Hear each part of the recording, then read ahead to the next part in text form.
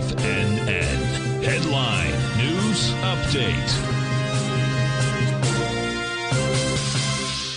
Okay, folks, Larry Pesavento, mid afternoon update for TFNN. Uh, stocks are under a little pressure for the uh, second day this week, Monday being a holiday.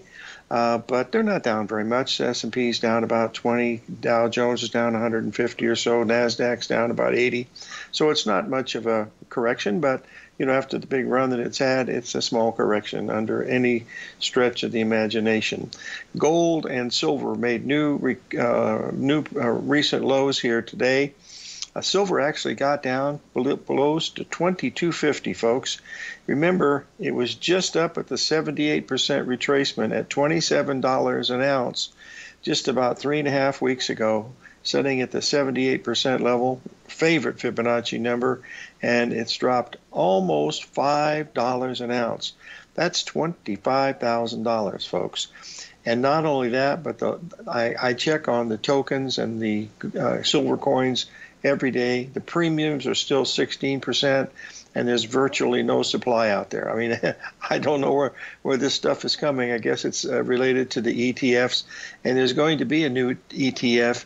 Uh, for silver and also a new ETF for Bitcoin that is going to work with the cash market. The Bitcoin one will be priced in Satoshis, which is another big thing that'll be going on. By the way, folks, uh, if you want a copy of our um, uh, John Jameson and uh, Trade What You See newsletter, Uncharted, you have to drop me an email, larry at tradingtutor.com. First issue is going to go out today. Uh, it's part of it's free, so you can't miss on that one. Anyway, but that's uh, some of the things that are going on here today uh, in the market. Also, folks, there's been an, uh, something happened in the U.S. government today. I'm going to show you this chart just to show you how the government can control things.